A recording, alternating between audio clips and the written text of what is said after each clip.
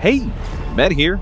I'm the community manager for Thunder Lotus. Welcome to 33 Immortals, a 33 player co op action roguelike where you go on epic raids in a fight for your eternal life.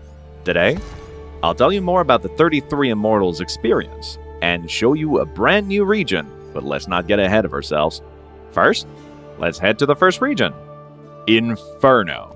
Here, you'll fight waves of monsters, clear torture chambers, and dodge the wrath of God that rains from above. But hey, don't sweat it. Just work together. Use your weapon's unique abilities and time your co-op powers right. I mean, check out this cool shower of arrows the Bow of Hope can do. Once all the chambers have been cleared, head on over to the Ascension points, win the Ascension battle, and you'll earn your ticket to confront the big boss of Inferno himself, Lucifer. He's no pushover, and it may take you more than a few tries, but if you can beat them, you'll earn a single-use world key to the next region, Purgatorio. Make sure you're ready before you use this key, because Purgatorio will be hard, not to mention the boss. Whew.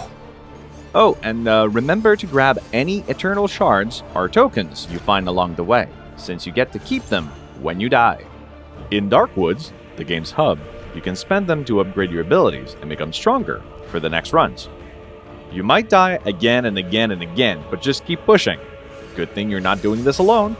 So, are you with me?